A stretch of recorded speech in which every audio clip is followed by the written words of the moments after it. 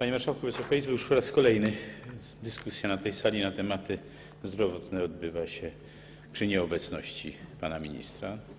To jest dla mnie żenujące. Pan minister przychodzi tutaj do tej Izby tylko na głosowania. Poza tym się nie udziela. Schował się i wyręcza się, panie ministrze, z całym szacunkiem do pana ministra Szulca, jednak zastępcami.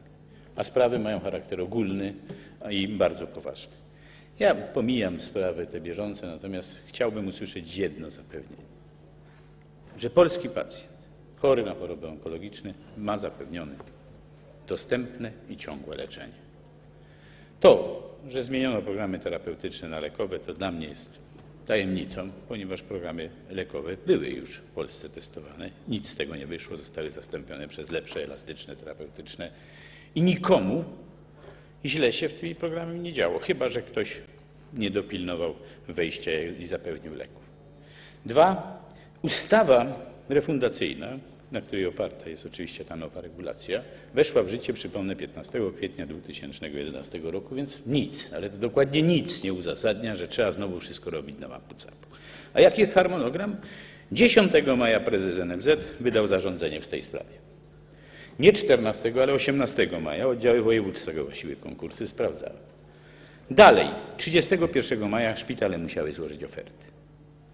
Następnie do 29 czerwca, czyli do piątku, będzie rozstrzygnięcie i ogłoszenie wyniku postępowania konkursowego. Dlaczego tak musi być? Ponieważ jest określona procedura, obowiązuje nas y, możliwość odwołania, obowiązują nas uprowadzenie.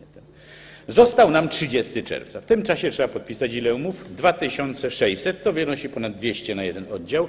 Średnio liczą 24 godziny po 10 umów na godzinę. Nie jest możliwe to do przeprowadzenia, proszę Państwa.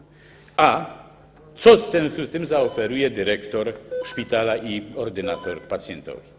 Papier, że 30 czerwca ma podpisaną umowę.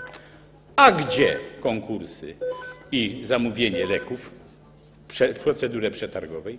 A gdzie ewentualnie kwestie związane z zakupem i dostarczeniem tego leku do szpitala? To się nie dzieje w ciągu pięciu minut. I gdzie bardzo trudna procedura ponownego kwalifikowania chorego pacjenta do programu lekowego. W związku z tym ja tylko jedno chcę słyszeć. Czy polski pacjent 1 lipca ma zapewniony pełny dostęp i Proszę ciągłość kończyć. leczenia onkologicznego? Dziękuję. Dokładnie 44 sekundy, tak jak mój poprzednik.